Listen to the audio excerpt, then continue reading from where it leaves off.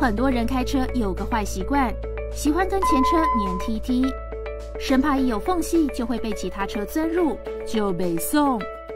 但这种习惯不但容易因为频繁急刹造成零件耗损，也是肇事的重要关键之一。专家说，当车辆走走停停时，也可能发生连环车祸事故。想要避免推撞或追撞事故，有三大自保之道：第一，保持安全车距不计较。就是增加自身安全的筹码。如果是小型车在高速公路行驶，以时速一百公里为例，最小安全车距是车速的一半，也就是最少约五十公尺。车道分隔线每一组为十公尺，驾驶人可以用车道分隔线来判断距离。第二，如果远远就看到前方已经在塞车，可先透过后视镜看后方有没有来车。由于大型车需要的刹车时间距离较长，撞击力道又大，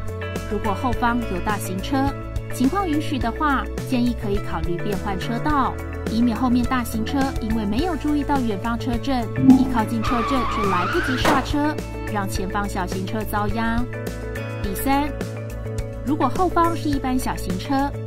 建议可以先松油门，让车速逐渐慢下来。提早让后方车辆有警觉，也把速度跟着慢下来。